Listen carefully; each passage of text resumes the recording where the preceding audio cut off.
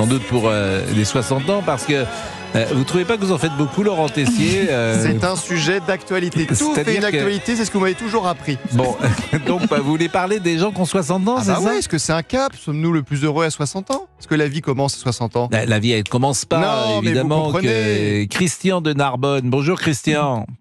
Bonjour et bon anniversaire. C'est gentil Christian, vous avez quel âge? 62. 62 ans. Ah, racontez-moi alors cette expérience. Ah ben, écoutez, l'expérience, c'est comme si j'en avais, c'est, je pense, 30 ou 35.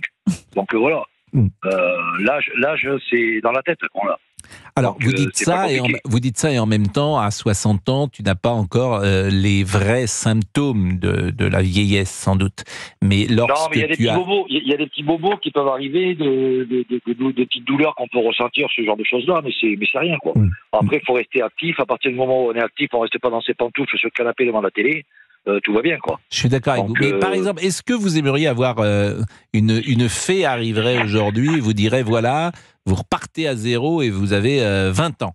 Et alors, mais vous n'avez plus rien. Vous n'avez plus rien de ce que vous avez aujourd'hui. C'est-à-dire que euh, c'est plus agréable souvent dans la vie matérielle à 60 ans. Non, par exemple, non, pas du tout. Par exemple, on, on- comment dire, on change avec Monsieur Boubouk qui commence, c'est le plus jeune d'entre nous, Monsieur Boubouk. Il a quel âge? 25 ans? 25, oui. Bon, on me dit, est-ce que tu veux être Monsieur Boubouk? Bon, C'est-à-dire, j'ai pas compris, pardonnez-moi. bah, c'est simple. On me dit, une fée arrive et on me dit, voilà, tu veux être Monsieur Boubouk.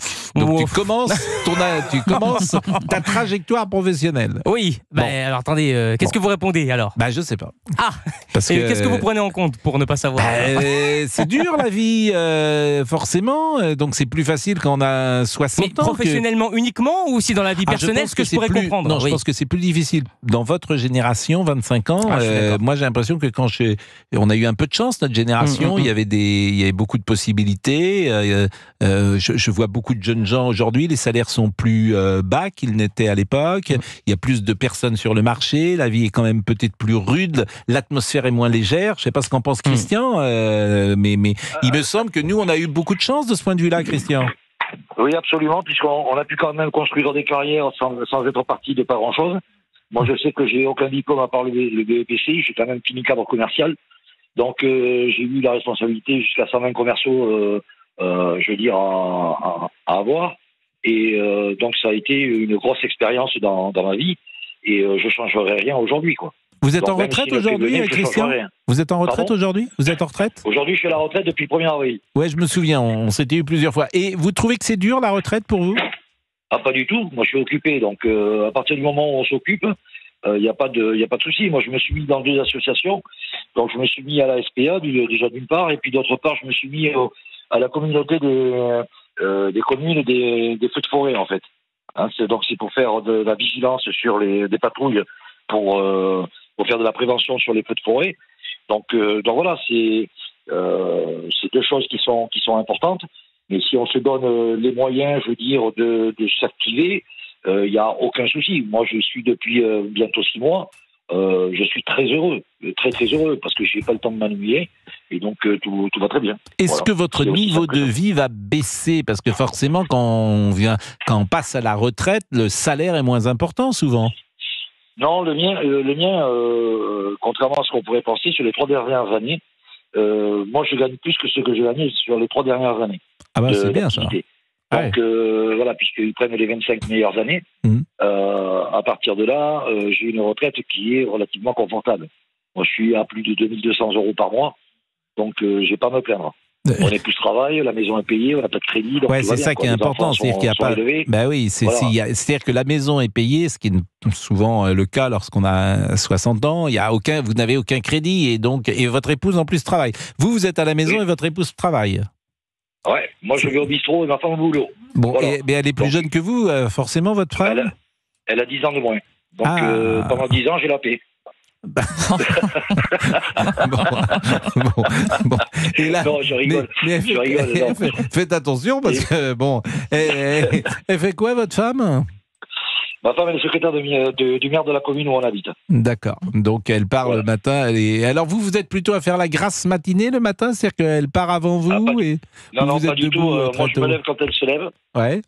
Je me lève en même temps qu'elle, et puis après, ben, je prends mon temps, je vais faire deux, trois courses, je vais, euh, voilà, je bricole, je, voilà. Par exemple, Donc, depuis ce matin, qu'est-ce que vous avez fait? Après, ce matin, je suis parti ben, faire deux, trois courses. Ensuite, Mhm. je suis allé. C'est quoi deux, trois courses? C'est des courses de nourriture? Ou- Oui, oui, absolument. Ouais, Ouais, donc c'est vous qui faites le marché. Ouais, c'est moi qui fais le marché, Et- c'est moi qui le- manger à la maison. Et Donc, euh, le- euh, elle revient euh, à l'heure du déjeuner ou vous ne la revoyez que le soir? Elle revient à l'heure du déjeuner, le repas est prêt, elle n'a plus qu'à s'asseoir sur, sur la chaise et manger devant son assiette. Voilà. Donc, euh, Et là, qu'est-ce que vous avez préparé pour le déjeuner du midi? Voilà, à midi, là, j'ai préparé une salade de, de tomates avec du surimi. Donc, euh, elle a des radis, elle va grignoter, euh, ce genre de, de choses-là. Après, du fromage. Donc, euh, il y, a, il y, a des- il y a des fruits. Ah ben des non, mais vous êtes un donc, mari génial, vous êtes un mari, elle peut être content de votre épouse. C'est bien ça. Ah ben, Et ce soir, c'est vous qui allez faire le dîner aussi.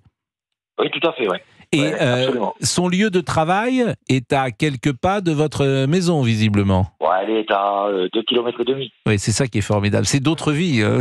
Pascal Pro Ah Vous nous faites, ouais. vous nous faites rêver parce qu'évidemment, nous, les, les déjeuners, personne ne rentre déjeuner chez soi parce que tu mettrais deux heures pour rentrer déjeuner. si vous rentrez déjeuner chez soi, qu'est-ce qui se passe? Il y a un autre auditeur qui veut vous parler. Oh, c'est encore une surprise. Qu'est-ce qui se passe? Bonjour. Qui est là? Oui, bonjour, monsieur Pro. Bonjour.